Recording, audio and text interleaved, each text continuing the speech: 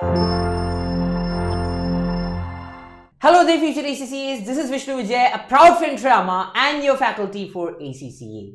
So folks, in this session we will be covering a really common struggle faced by most ACCA students that is basically in relation to understanding the CBE environment. So why exactly does an issue exist in the first place? Well, this is basically because we're all used to the traditional method of writing the exam using a pen and paper, isn't it? However, with uh, the advancement of technology as well as with the increased expectation of employers within modern business industry, ACCA has planned to in increase the employability of their students by introducing CBE exams.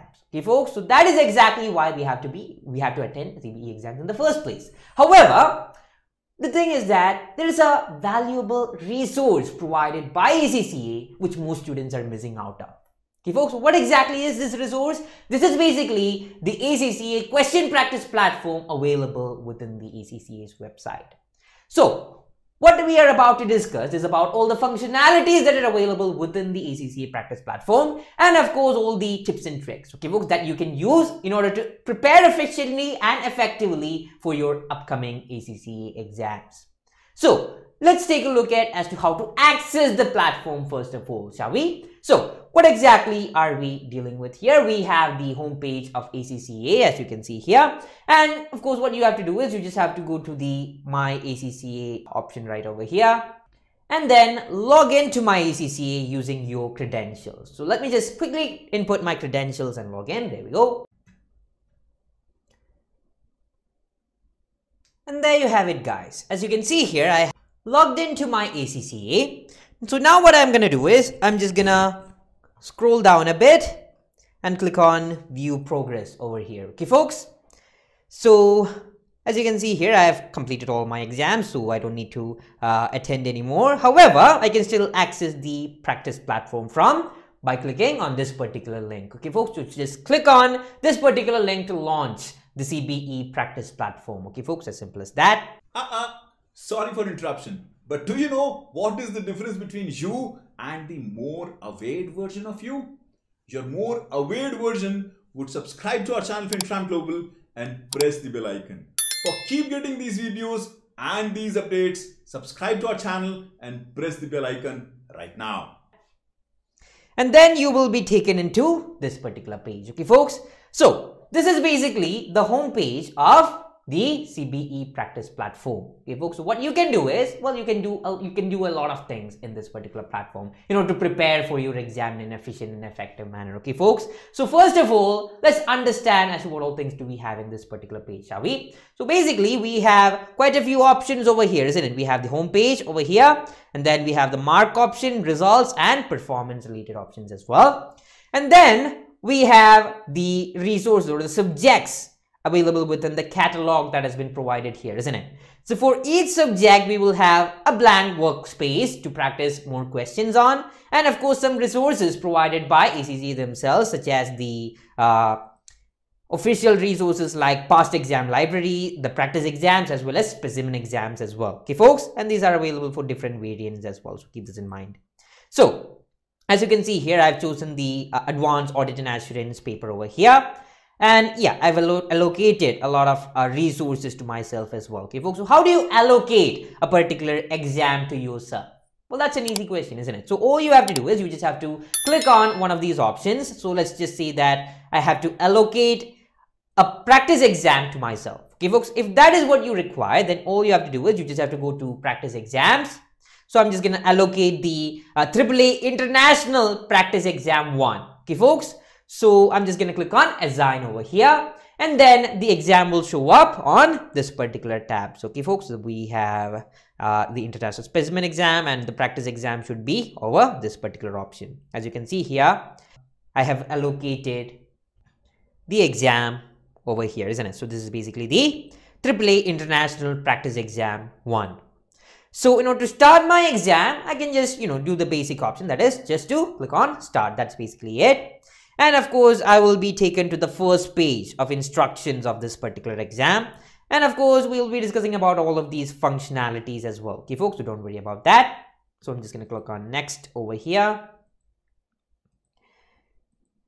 these are just the basic instructions that you have for the exam that's basically it and we have the uh, exam summary page as well isn't it where the structure of the exam will be mentioned as simple as that so i'm just gonna when i click on next a notification will appear uh, asking me as to whether i'm ready to begin this exam or not. Okay folks so i'm just gonna click on yes. There we go and then I will be taken to section A of this particular question paper. I'm just going to click on next and then that will take me to the first question over here. Okay, folks. Of course, this is basically a strategic professional level paper and therefore this is basically the layout of the particular exam that you will have within your main exam as well. Okay, folks, on, on the uh, main page, you will have the background of the scenario that you're dealing with. And of course, you will have exhibits on the right hand side as well as the requirements as well as the response options as well, isn't it? However, when it comes to the skill level papers, it would be slightly different. And we have covered all of these skill level uh, functionalities as well as the strategic professional level functionalities as well in detail in our sessions as well. Okay, folks, so remember that. So, uh, as you can see here, uh, we have quite a few options, isn't it? And let me tell you guys, the response option is kind of similar for both the exams as well. Okay, folks, be it skill level or be it the strategic professional levels. So let's take a look at those functionalities real quick and then move on, shall we? So in all the uh, ACCA CBE exams of both uh, skill level as well as strategic professional levels, we will have a word, word processor as well as a spreadsheet available to us. Okay, folks? So what all functionalities do we have within the word processor? Let's take a look at that. Well, first of all, as you can see here, we have an icon over here, isn't it? That says reset. Okay, folks, it might seem like a particular option to save your answer. However, that's not a functionality that is useful in the exam, isn't it? So that is not exactly what it does. Okay, folks, what this particular option does is it resets your entire answer. Okay, folks, what does that mean? Let's say that you've typed in your answer. Okay, folks, I'm just going to randomly select some test, control C it and control V it over here. That's a cool expression, isn't it? Control V it. Okay, so I'm just going to paste all my answers here. So let's assume that I've written all my answers within this response option. Now, if I click on reset, a warning will appear. And what exactly is it stating? Are you sure you want to reset? Resetting will remove any response you have made on this item and reset back to an unanswered state. What does that mean? That basically means that all your answers will be removed. Okay, folks, so that's basically the idea here. Of course, I think you can retain it by clicking on undo. However, yeah, that's not possible. Okay, folks, so that's basically something that you have to point out as well. Okay, folks. Now, keep that in mind. So we have the cut, copy as well as paste options available. However, instead of using these options, what you can do is you can just use the shortcuts for it, isn't it? For cut, what would be the shortcut? The shortcut would be control X, isn't it? So since, since we are moving items, it will be control X. For copy, we have control C. And for paste, we have control V as well. Okay, folks? So I'm just gonna demonstrate this. So all you have to do is you just have to click control C for this particular text and control V it uh, where you want to. Okay, folks, that will paste, uh, make a copy of the same text that you've selected. As simple as that. And of course, if you're a working professional, you will be quite used to by uh, used to it by now as well, isn't it? So that's basically it. So that's, that's are basically some basic shortcuts. And of course, you have the undo as well as redo options as well. Okay, folks, this is just to, you know, undo the things that you've done or typed, as simple as that. And of course, if you want to, uh, you know, change your mind and redo the same thing, you can just click on Control Y instead of using that option. Okay, folks. So the shortcuts for undo and redo is basically this. Okay, folks, for undo, it's basically Control Z, whereas for redo, it is Control Y. Okay, folks, as simple as that. Now, we also have another functionality known as the find and replace option as well. Now this is kind of an interesting option that we have, okay, because and we, we could use the same option. We do have the same option available for Microsoft Word as well, okay, folks. So uh, you just have to, what you have to do is the control from uh, find and replace does not work within the platform. So instead we will have to manually select it, okay, folks. So how exactly do we use this option? Well, let me talk about that, shall we? So basically, this particular option is used to find a particular text and change it into something else. Okay, folks, that's basically it. So as you can see here, I've written the word control in its short form, isn't it? So if I want to change it to the full length or full uh, word that is control, then all I have to do is I just have to find the control uh, wording from my answer and then I'll replace it with the full form of it. Okay, folks, C-O-N-T-R-O-L. Okay, folks, this is how I want to replace the text within the entire answer sheet. Okay, folks, all I have to do is I just have to find, click on find, and then click on either replace or replace all. Okay, folks, replace would just replace the first item that the particular uh, system sees, whereas replace all will replace all the particular function that it sees. Okay, folks, as simple as that. So this is basically what the find and replace option is all about. And then of course you have some formatting options such as bold, italic as well as underline. This is basically to format your text. For example, if you're providing a heading for your answer, you will have to format it slightly, isn't it? So we can just, uh, instead of using this option or just using your cursor to just click on these options, what you can do is you can yet again use shortcuts here as well. Okay, folks, what kind of shortcuts can you use here? Well, you can use Control B to bold, Control I to italic, and Control U to underline that particular text. Okay, folks, so that's basically the idea here. And then, of course, you also have the strike through option if you want to strike through some text as well. The same option is available over here as well. Okay, folks. And what else? You have the subscript as well as superscript. This is especially important when it comes to the uh, PM or FM exams, isn't it? So that's basically the thing. Uh, and then we have the text formatting, sorry, clear formatting option as well, isn't it? So why exactly do we use this option for? Well, this is so that we can clear the formatting that we have done. Okay, folks, just select the text for which you want to remove the formatting and just click on this option as simple as that. Okay, folks, so the text will come back to its normal format as simple as that. So that's basically as to what these functions are. Then we have the paragraph options as well, as well as uh, if you click on this drop down arrow, you have heading options as well. Okay, folks, if you want to convert this particular text into a heading, all you have to do is you just have to go to this option and click on the size of the heading that you want it to. Okay, folks, as simple as that. And then of course you also have an option to input certain tables. For example, if you want to showcase some calculations in a bit more formatted manner, in a bit more clean manner, you will have to use tables as well, isn't it? So in order to input table, all you have to do is just click on this drop down arrow right here and then select the number of columns and rows. Okay folks, as simple as that. And then of course you have the alignment options, which is kind of the basic things, isn't it? So that's basically it. If you want to align the heading to the center, I'm just going to click on this. That's basically it. And of course you have also the option to provide bullet points, your answer in bullet points as well. Okay, folks, as simple as that. And if you want to use numbered bullet points, you just have to click on the next option. That's basically it. And of course, we have the increase and decrease intent option as well as the print option, which won't be that much useful in the exam, isn't it? So keep this in mind. Okay, folks. So that's basically all the functionalities that are available within the word uh, in the word processor. Okay, folks. So keep this in mind. So I'm just gonna close this and move on to another response option that is basically the spreadsheet. Okay, folks. So the spreadsheet is yet again a common response option that we have for all the papers, isn't it? So what all functionalities are available here? Let's take a look at that, shall we? So folks, we also have the similar options in this particular response option as well, isn't it? We, we have the reset option right here, and then we have cut, copy and paste, and then we have copy uh, or format painter option over here as well. This is basically to copy paste the same formatting of one cell to the other. Okay folks, so that's basically it. And yet again, we have the undo as well as redo option. We already know the shortcuts for that. And if you have to increase or decrease the size of your screen, then you can just change it over here as well. Okay, folks. So that's basically the idea here. And then if you want to change the size of the selected text, for example, I'm just going to type FinTram Global over here, as simple as that.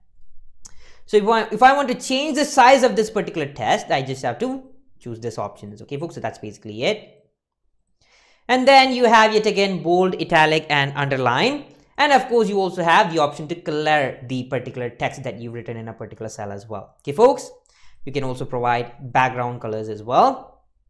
As simple as that.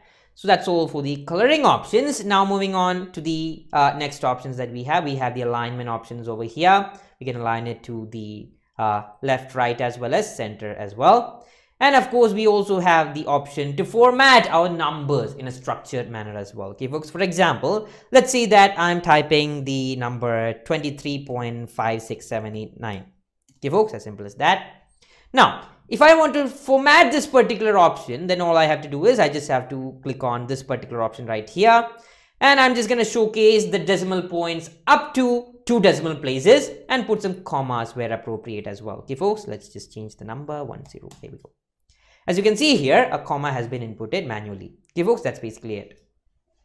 Okay, so that's basically all about that particular function. Of course, we also have the option to structure it into a currency as well. Okay, folks, as simple as that and of course you also have the option to convert it into a percentage. So let's say that i'm going to take another percentage known as uh, let's say 2.5 is basically the number that i've written here. If i want to convert this okay so let me just use a lower value let's say 0.5 okay folks if i want to convert this into a percentage format i just have to click on over here. Okay folks as simple as that so I'm just going to showcase it to two decimal places, as simple as that. So 0.5 is basically 50%, isn't it? As simple as that.